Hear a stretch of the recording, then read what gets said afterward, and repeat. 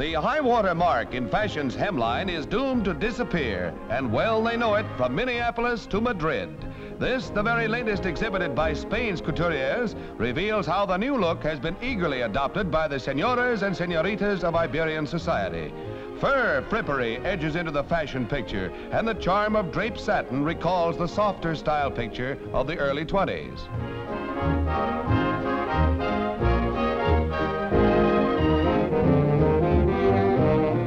Over the world, Madame scans the fashion pages and succumbs to the dictates of the designers whose decree is the last word. Off-the-shoulder models have delighted Milady's heart from the French courts to the deep south and seem well on their way to further preference. For an added touch of mysterious charm, a cape serves to unveil the grace of a perfect evening. Whether you admire the new look or yearn for the styles of yesteryear is a problem you must resolve for yourself.